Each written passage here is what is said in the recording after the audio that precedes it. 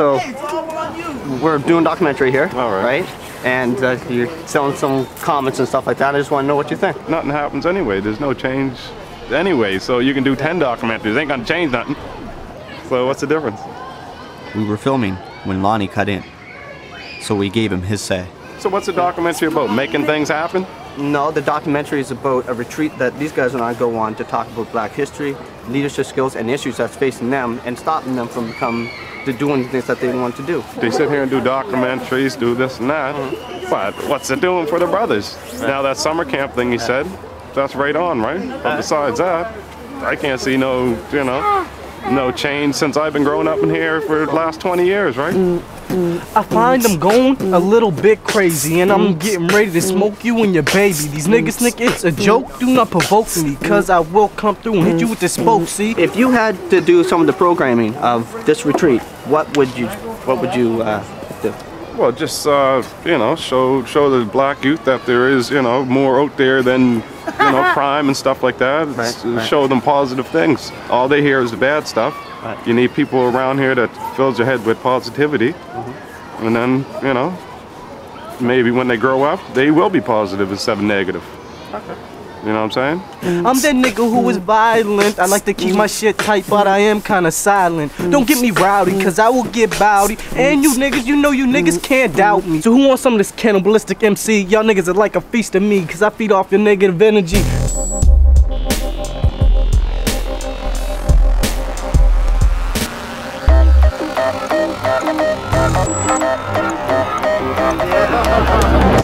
Bradley's only 15. He's my fiance's half brother. Your lyrics are pretty explicit. So where they coming from? Hate. He's a hard kid, but he has a good heart. What about like your hardness? Where, where does that come from? Like why why do you feel that you have to be hard? It ain't that I have to be hard. it's just that I am hurt. And mm-hmm. There ain't nothing I can do to change that. So I know that you carry some stuff or whatever, right? Like what what do you carry to protect yourself? So why do you feel that you have to carry that? Too many enemies. I was helping to organize a retreat for young black men, some of them in trouble, like Bradley. He said he'd be there. So what we're gonna do is uh, this, this is cool, and uh, we'll we'll hook up and uh, go. So you're definitely gonna go though, right? I'm going. Okay, cool. I was hoping to get him onto a new road, but he didn't come. He just wasn't ready to change. Uh, what we're doing is looking for mentors, the people that talk about this particular issue. And if you Oh, I'd want be to glad go, to come. I'll uh, get you the forms and stuff and give you information. And if you want to go, All right. you go. I'll be more than welcome to come and help. Lonnie didn't show up either. Young black men don't get a lot of chances to make positive connections with the older generation. The retreat brought together 30 young guys and 10 mentors from across Nova Scotia. A lot of us grew up in a negative climate. The retreat was the first step in showing these guys they can do something positive for themselves. I met Corey Lucas only a few days ago. He had some tough times and made some bad choices. But he's ambitious and open to change. And now he's 21 and a father. In my early 20s, I took part in a conference called Black Men Survived in the 90s. The men I met gave me the support I needed to succeed. They helped me to become a mentor. And now I was about to become a different kind of role model. My fiancee Melissa was pregnant with twins. The day I heard their heartbeats was the most emotional day of my life. But Melissa went into labor much too early. Although I got to hold them in my arms, our baby girls couldn't survive. It made me realize how precious life really is.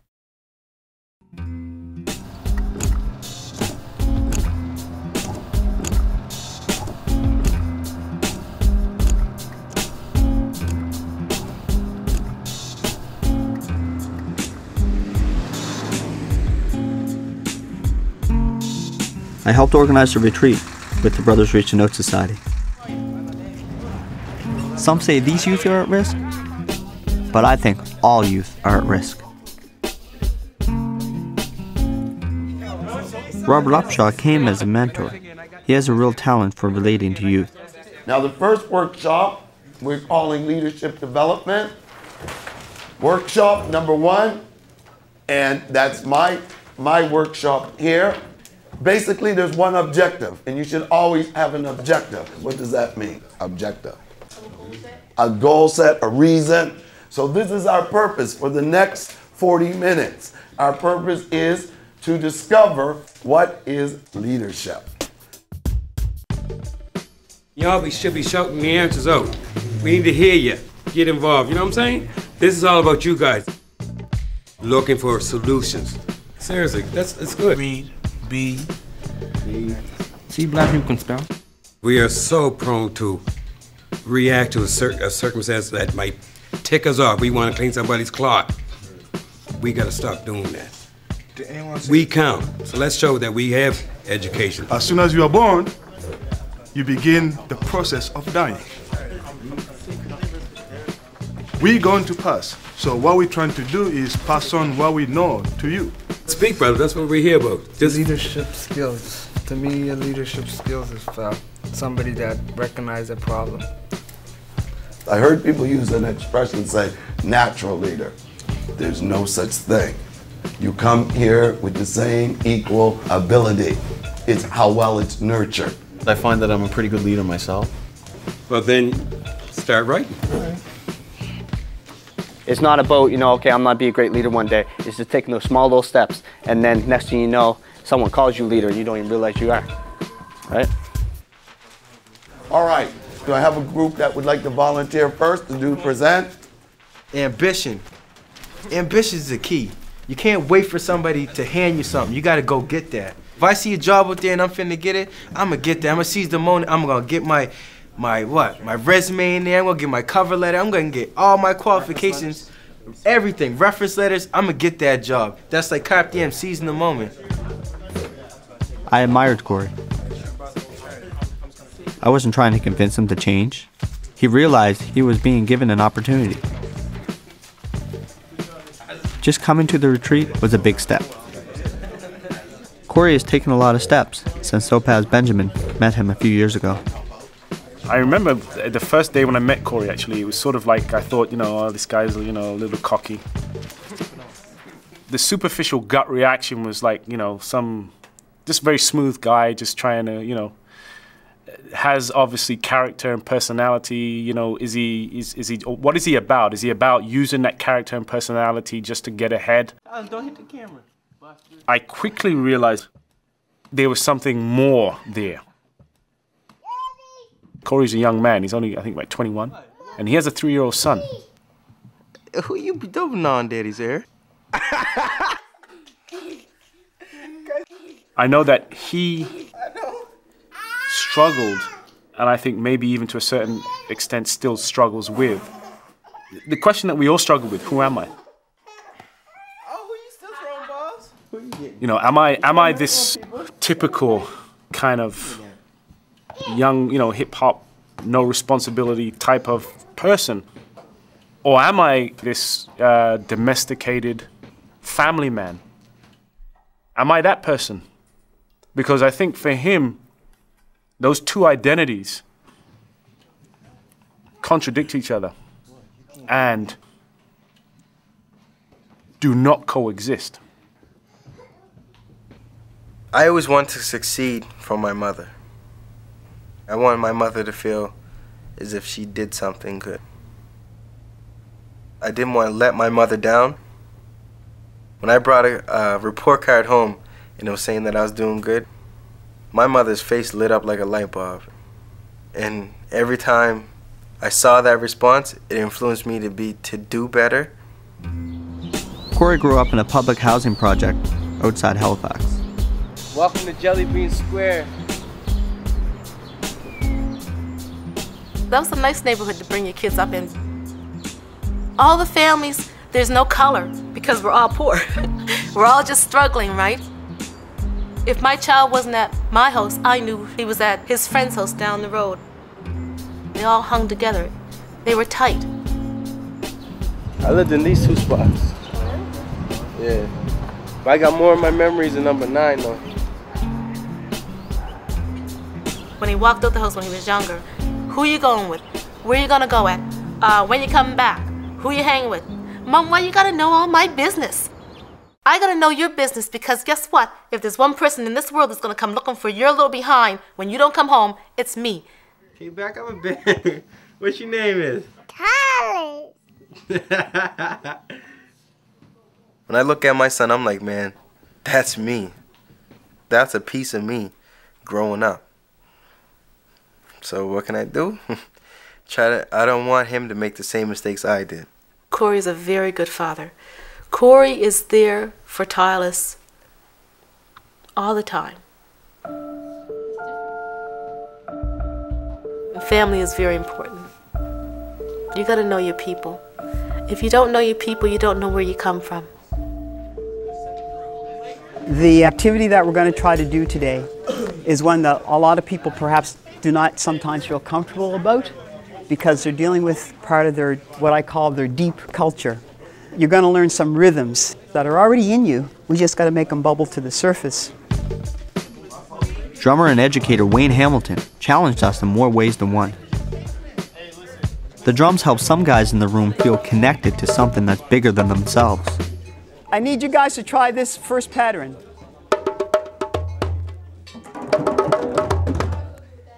Boom, boom. It fades. You gotta listen for it. You gotta listen.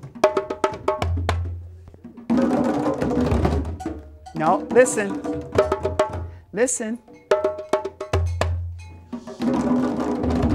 What?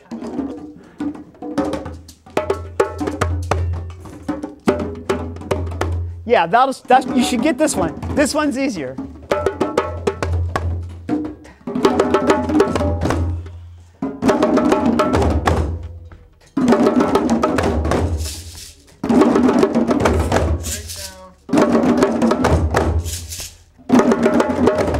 Drumming bonds us as brothers to the greatness of Africa, where all humanity began.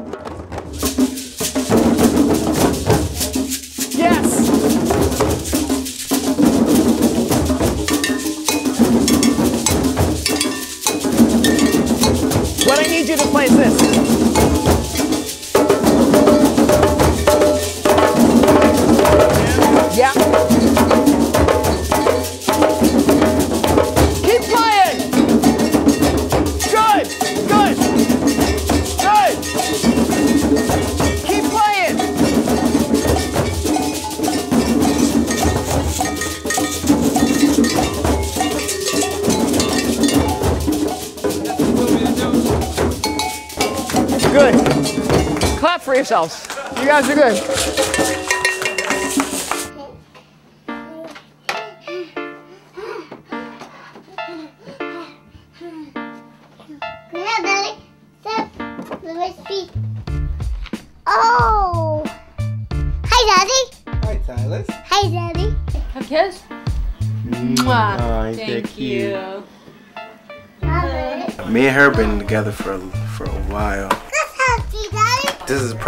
Pride and right here. This is basketball now.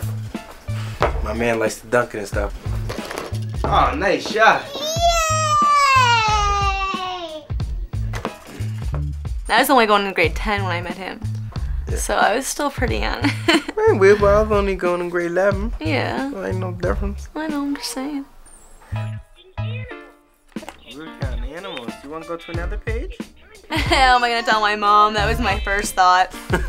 Um, that went better than I expected though. Me, my coat with it was like, damn. I was like, oh shit. Man, I got a little man coming into the world. I was very, um, very disappointed because I always told them guys to wrap it up, but they don't. they don't listen. I'm living my life through him. These are the cars that I collected for him. It does got the spinning rims. Corey's so young, so so young. I'm only 20. Yeah. I guess it was depending on how Tanya felt. If you want to be with me, I'm gonna have Tyler's. If you don't want to be with me, then I'm not gonna have the baby. But they went they went through with it, and uh, and I thank God for them because now we got a Tylus. and I stepped up to the plate. I had to hit that home run, you know what I mean? Bring the family home. Can you pop up? Can you come close the door, please? All right, thank you.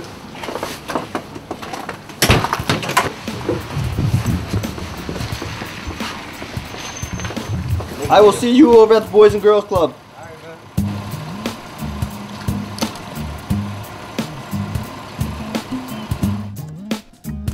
But I still talk to my friends every now and then, but I don't hang as much with the people I used to hang with. I want you to record him doing a donut, because that's what we were just doing a second ago. All right, cool. Man, what if our niggas is grounded? Girl ain't letting him go. Now, the boys will consider you being on lockdown if your girl keeps you in the house. Like you saying you ain't allowed over. At the beginning, yeah, I was getting clowned. Everybody was like, yo, man, look at you staying in the house. You a host man. I'm like, nah, it ain't even that, man. It's just that I have respect for my girlfriend and I have the love for my child. I'd rather be in the host than me just going ahead and drinking and just hanging, no.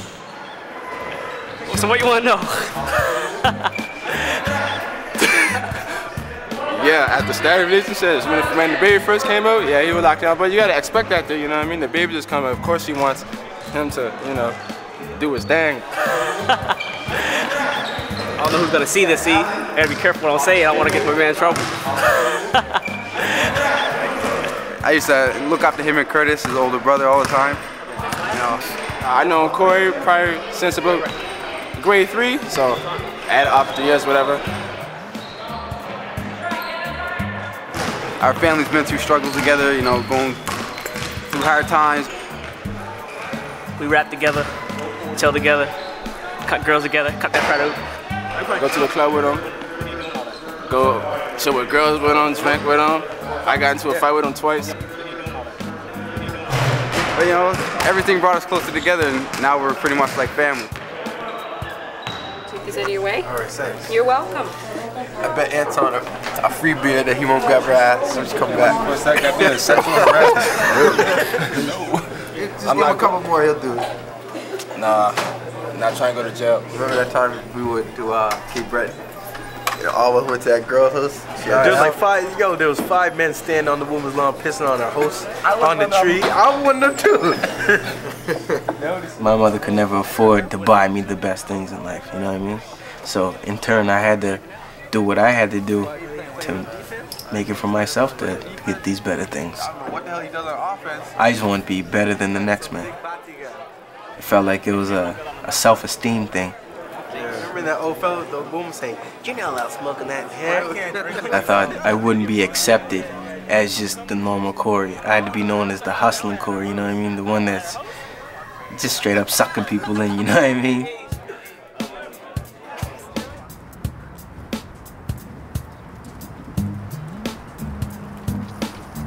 Man, hustling is you do whatever you have to do to get a couple dollars in your pocket. Me hustling you is me either selling you something or me saying I'm gonna do a favor for you and I'm just I'm making money and you're just you're either getting satisfied by getting high or you're just getting sucked in. Plain and simple. crack, tobacco, gambling, heroin, steroids, alcohol, ecstasy. I tell you what, I done about all of them.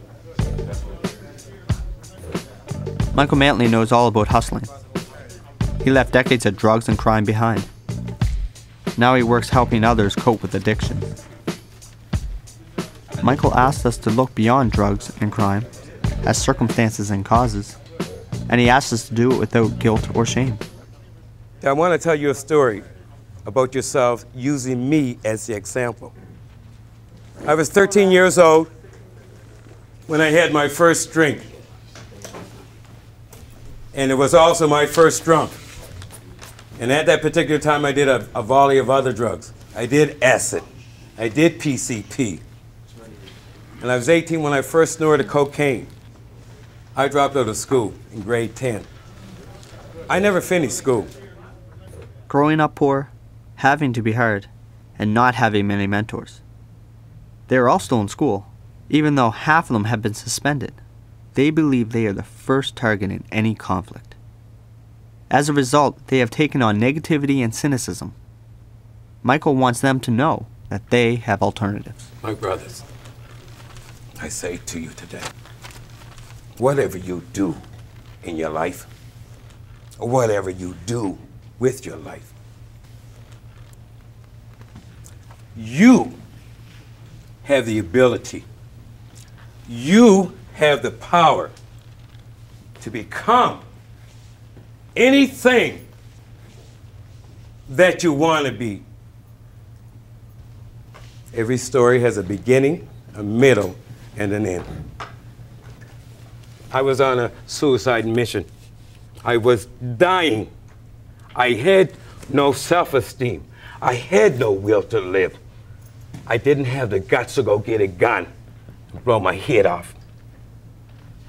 No money left, smoke crack all night, paranoid as freak, scared.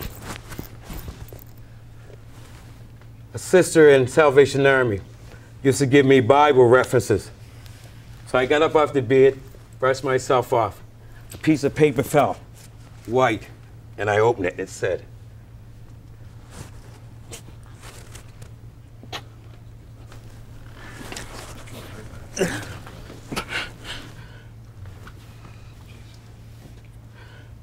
this is no joke. The scripture said, devil comes but to steal, to ruin, to destroy, to kill. But I, Jesus, I'm sorry. I come that you would have life, that you would have it more abundantly. That's my scripture. Thank you. I love you, brother.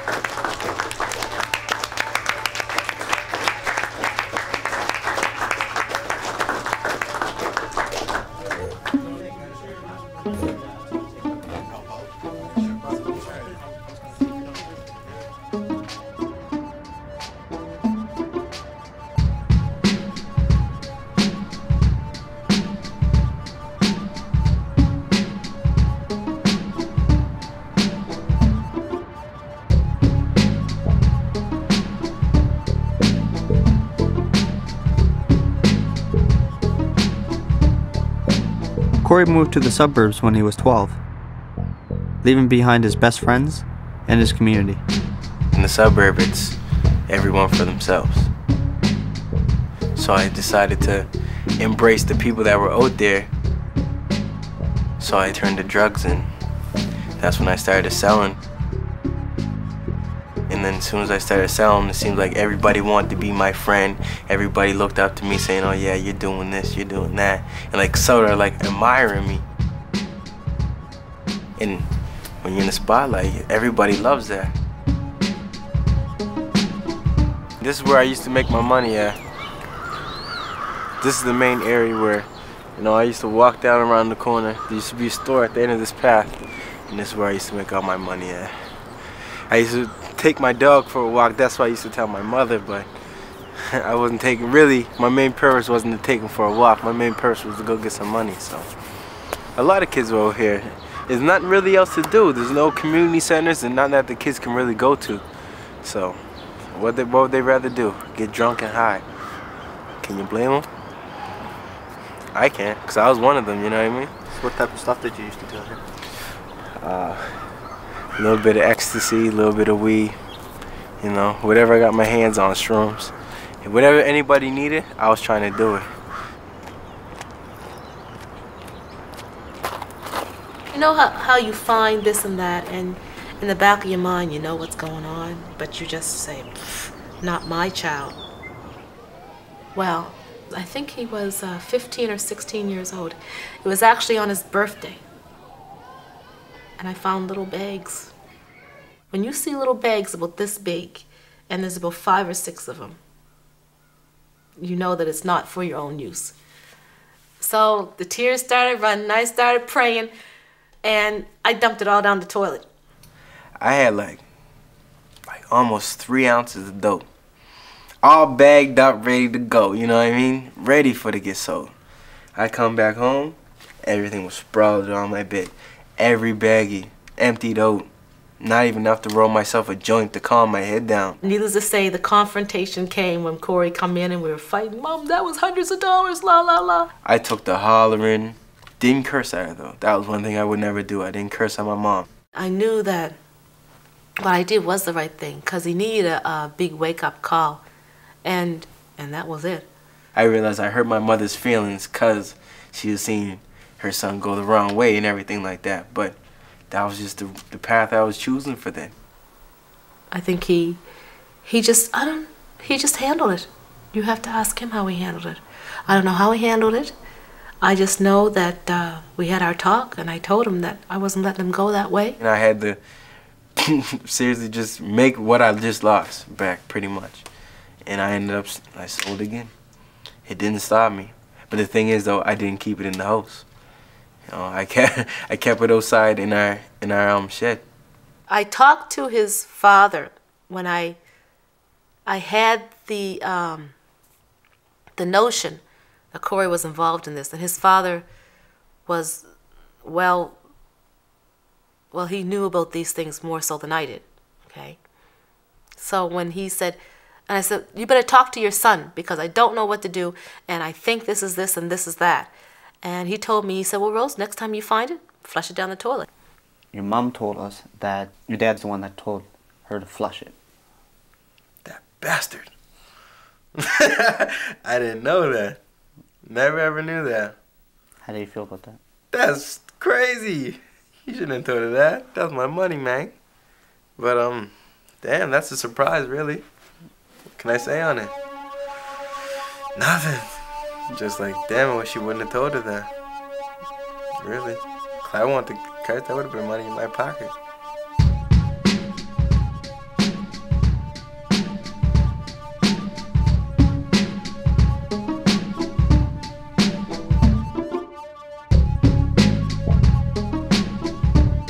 Corey's mom and dad split up when he was eight years old. Corey lived with his mom and his three older siblings. His dad was around, but not very often. I'll always respect my father. He brought me into this world. Was, I know it was a hard situation for my father to adapt and like not being able to just come visit us and chill in the house and let like you know what I mean, just spend time with us in that sense, rather than having to come pick us up and then take us somewhere and then relax and then take us back home. So maybe that's why my dad wasn't that involved in our lives. Nothing else I can do about that. I still gotta love him regardless of what he does. And I still love him for anything he does anyway. I'm glad he's showing love. That's it. It hurt. It hurt when I when I left them. They cried for a while, and they always asked their mother where's dad at. It was just like I, my father ain't around as much, but I still always got my mother, so I saw him every now and then. So it didn't really, it didn't affect me as much as it could have. You know what I mean? Because he always, no matter what, he still make time for to come around and check us out, whether it be to just come through and give us a little kick in the ass or give us a hug or give us a kiss, or, you know what I mean? So And also give you a little grab and tell you what are you doing with your life. You don't need it. yeah, that's true. Yeah, you said that, that I didn't need to do that stuff. Cause I was better than that. You don't. He told me the consequences of what I was doing and why I shouldn't be doing it, why I'm capable of doing other things, right? I can be his father, his friend, and then then there's discipline, and then there's law. So I'd rather be the father and the friend than rather get him disciplined and, and, go, and end up in the law. And I figured it's time I have to try to scare him. Do you think it worked? Yes. Do you think it worked, Corey? Most part. But still, that fear didn't really stop me sometimes, though. Because I'm big-headed. I ain't gonna lie to you. I'm stubborn. If I want something, I'm gonna do whatever I need to do to get that. But now, my approach at it is more legal than illegal. So That's the only difference. So how do you think Corey is as a father? Oh, he's good. But sometimes I have to look at him and just give him that eye. No, you don't do that. Like when he scolds his son, I'm not supposed to be there, you know, to tell him, but I do it. No, you don't do it this way, you do it this way. Right? But you know, that's my way of doing it, though. Yeah. That's where I, But that's what we it's always not say. always, it's, not always, it's not always the right way. Dog. I got you. Come on, let's walk to the car.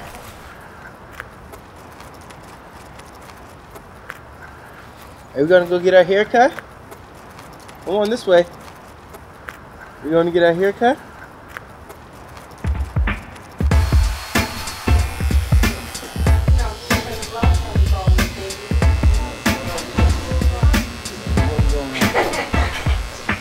Listen to the chair.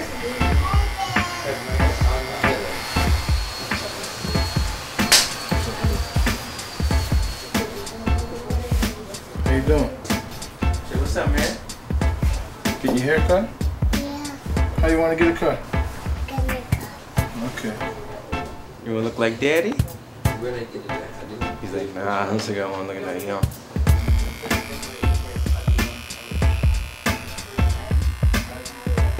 I stay around so he can have a father. Like the typical family, you know what I mean? Daddy. You're almost done, buddy. There's nothing wrong with like growing up with either your father or your mother.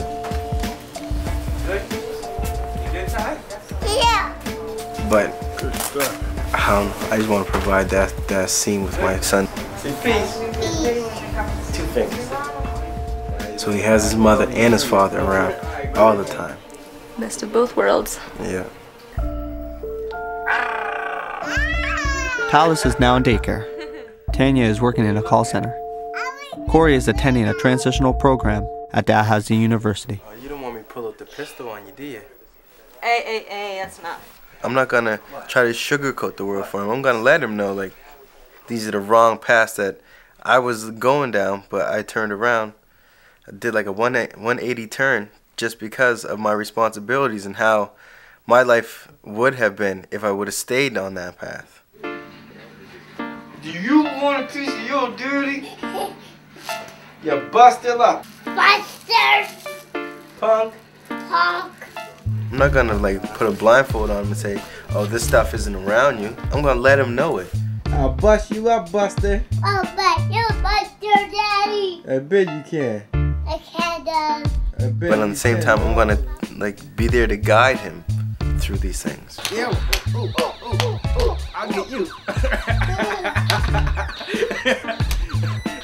I'm gonna be my son's friend. I want to be his best friend. But when it boils down to it, if I gotta discipline you, I'm gonna do it.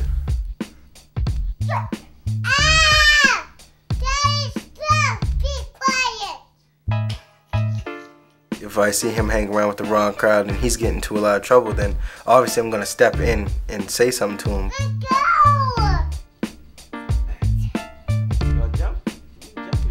I get something that he can focus his energy on in a positive way, like and, and him, making him more productive. He's gonna beat you up anyways. but he don't. You punk. Punk. Ah, you can't reach me. I was used to living the life of spending money whenever I wanted to or doing whatever I wanted to. Doing whatever and whenever I wanted to, really. But it was easy for me to break it. My son made me change my mind. So when I saw when I found out that I was having a child, I was like, what can I do? Is it gonna be be a father or am I gonna be in jail? Am I gonna have a little quick money in my pocket or be broke for the meantime? So what I chose is to be a father and be broke for the meantime and see what see what ravels over me.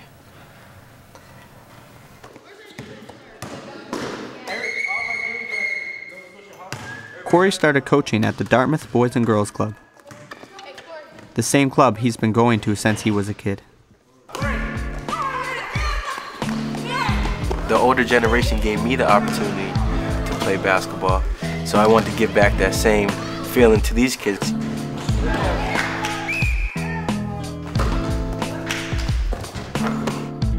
But it's better if you use your own judgment. I can't leave kids around this neighborhood high and dry and not have a like a good role model to kind of look up to. I want to lead an example, so I can't tell my kids to do one thing and then me turn around and do what I told them not to do, you know what I mean?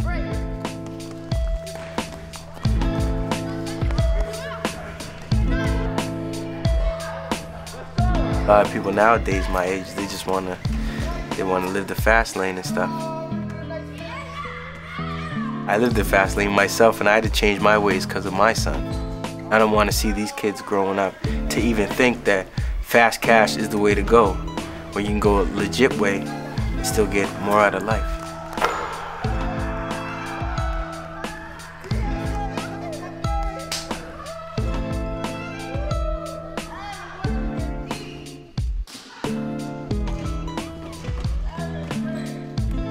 Learning through my like my family's experience and learning from what I've like knew as a kid, like saw as a kid and everything like that.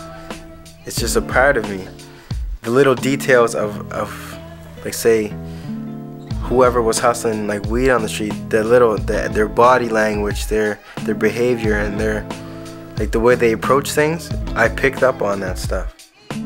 I just been used to it for so long that it's just it's just a part of me. Like no matter what, I always have the hustling mentality. Everything's a hustle, man. What anybody does is sort of like a hustle. It's just whether you do it positively or negatively.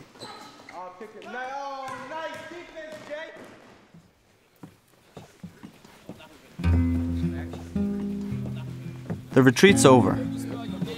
The guys might not feel the full impact right away, but they have more to believe in. They have a stronger sense of themselves and the brotherhood.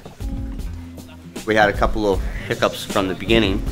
You guys know that it was originally it was postponed and then it got put forward. Well, that's because I lost my baby girls. All right, and uh, it was really hard time in my life, and uh, brothers sat there and supported me, right?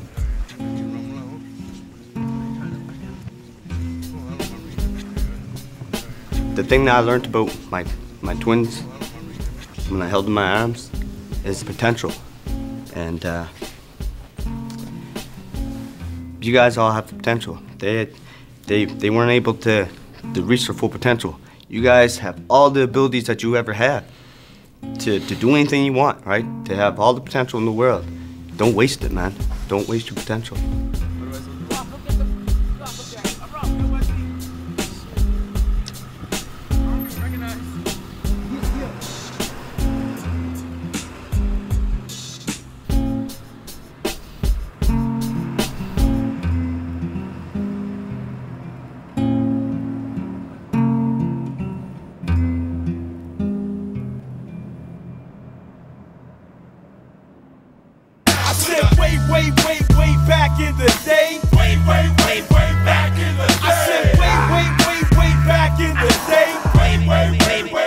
Yeah, way back in the day. My mama used to say that I was hanging with the brothers that would go the wrong way, but I didn't. Just wanted fresh air. Uh-huh. Go grab the basketball so we could play four square over uh-huh. 2600 Atari. That is, listen to the biz. My app was still a fizz. Roller skating at the wheelies almost every single weekend. Showing on the moves on the side, beeps freaking. Good times I was seeking. You couldn't move me over. Guy had me jamming. Levert's Casanova, the king of the mountain. I always used to win. Right from the begin, I could pull a backspin. The clown of the class would always make a pass. Love letters to the girls, cause I always loved the ass. Kiss her on the cheek, or maybe on the hand. But never understood love, and still to understand. I had a Michael Jackson glove and a Michael Jackson jacket. Rapping old school rhymes over Fizz's beatbox racket. Never had a dad, but my mama took care. Raised as a strong black man with no fear. Say, this is for when I'm older. Walk up to the camera and say, this is for when I'm older. I'm Older. yeah. end of the flow way back in the day.